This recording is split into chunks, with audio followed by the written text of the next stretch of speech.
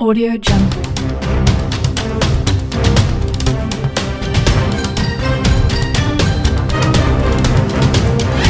Audio Jungle.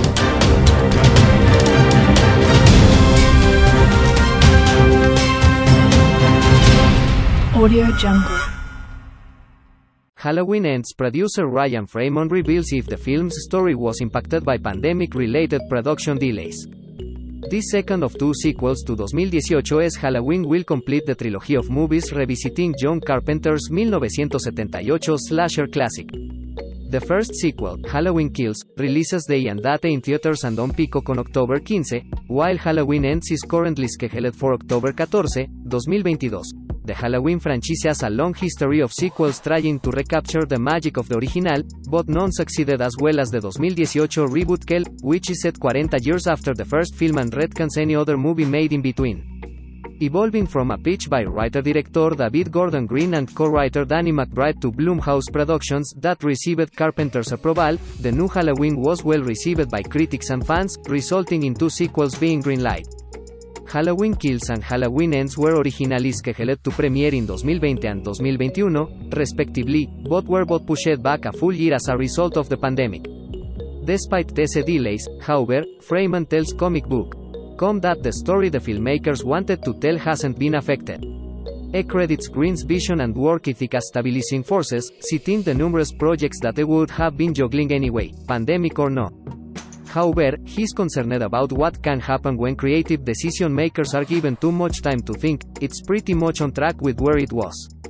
David and co-writer Danny McBride went off and just wrapped Righteous Gemstones season 2 yesterday. The wife spent the last 6 a 7 months doing that. David's got his is such a creative force that now is doing The Exorcist and has got a Hellraiser TV series. The floodgates of horror are open to him, so I think also as his convictions and I think that he knows the general direction is sailing the ship. So, are we going to avoid little things here and there? Yes. Has it given us time to reflect on things? Yes. And, in some ways, it might be good, and hopefully not. Because he knows sometimes when you sit with things for too long, you can juggle them to death, instead of just going with your good. But to answer your question succinctly, it's more or less the same thing we've had going along.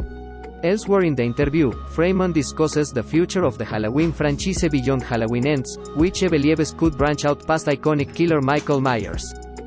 Think there are other ways and other mediums in which to explore this franchise, Freeman says.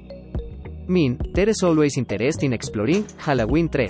Season of the Witch again. Is it something we'd race to do? I don't know. Our focus has been COVID delays, figuring out how to do Halloween ends and shoot it, COVID protocols on that, all of those things. But I think it would be something, where we explore other outside areas of the Halloween universe. While fans of Green's 2018 film are likely happy to hear that the trilogy remains narratively on track, lovers of the Halloween franchise could be wary of the film's continuing without Myers.